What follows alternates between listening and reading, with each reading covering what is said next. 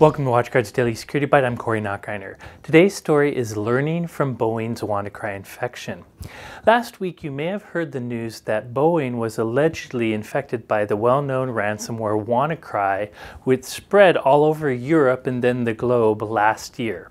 You probably remember WannaCry is something we call a ransom worm because besides infecting one computer, it also uses network exploits to spread automatically over a network, specifically by using a NSA leaked server message block or SMB vulnerability. In any case, last week word leaked out that Boeing, uh, at least one of their North Charleston locations, was infected by WannaCry, this old, almost a year old ransom worm.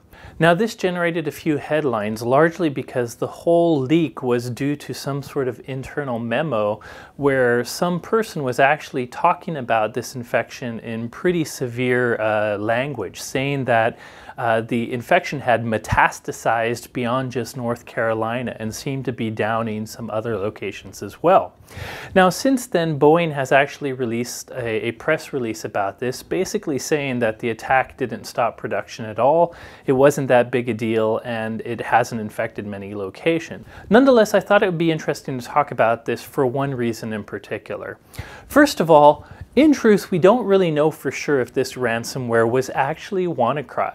Because this was all due to a leaked memo, we don't actually have hashes or samples. You know, Boeing hasn't shared that information at all. We have to presume that the incident handlers inside Boeing uh, correctly identified this as WannaCry. So the big question that came up when the world heard about this was why is such a big company that presumably has good security uh, being infected by such an old, well-known piece of ransomware, one that you should have many protections to actually prevent. Now, one good reason for this is we still haven't caught the actors behind WannaCry. Some allege that it could be North Korea or a nation-state actor, but in either case, the hackers that created WannaCry are still out there. And if you follow ransomware, these threat actors often make new variants of their same malware. So without knowing all the details, for all we know, this could be somehow a new variant of WannaCry, which looks familiar but perhaps spreads using new mechanisms. It will be interesting if Boeing ever does release any information about the infection that we might be able to learn from. However, the real practical tip, or the thing I want to talk about, is presuming this really is the old version of WannaCry, why would a big company that, that has security be affected by it? And that really comes down to the difference in certain industry verticals that have operational technology networks. So think of people like Boeing who have manufacturing lines, or think of critical infrastructure like oil pipelines or energy systems, or even think of healthcare organizations that have specialized equipment. As you can probably tell, this problem all comes down to operationalized Internet of Things devices. We talk a lot about how Internet of Things devices are just computers. Now often these are things that don't look like computers, but are really running an embedded Windows operating system. And because of this, they're just as vulnerable to many of the attacks out there as any other computer.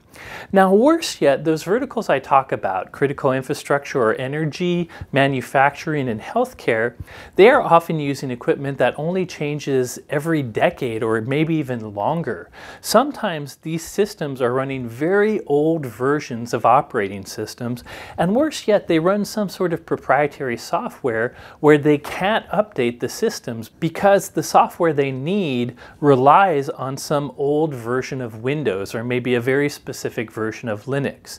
On top of that, even though the security industry knows that we need to patch our normal computers very quickly, they may be afraid of patches. All of these type of systems are either business critical or in some cases life critical. So they need uh, six nines uptime. They, they really don't want patches breaking their systems. So this is actually a classic problem for certain verticals that have these sort of systems, ones that are very, very critical, that have to be up all the time, but actually do run very old and outdated software.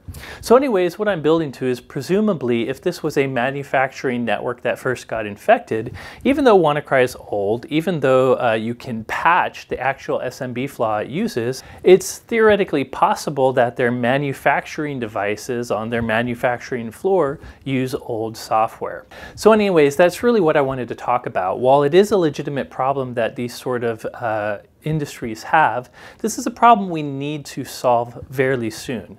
Now, some of the solutions for this is air gapping. The whole reason energy networks should be air gapped is if they're running outdated software, vulnerable software that you can't patch, you better remove them from the network and make it harder for malware to actually get to that network.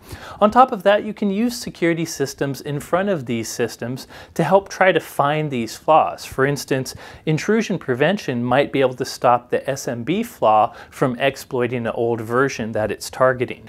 However, all that said, this is really something that the industry needs to come together and solve. As the people that make these very proprietary and yet life and business critical systems continue to operate, they need to find a way to allow for patching long into the life cycle of these products without the, the risk of downtime or any sort of problem.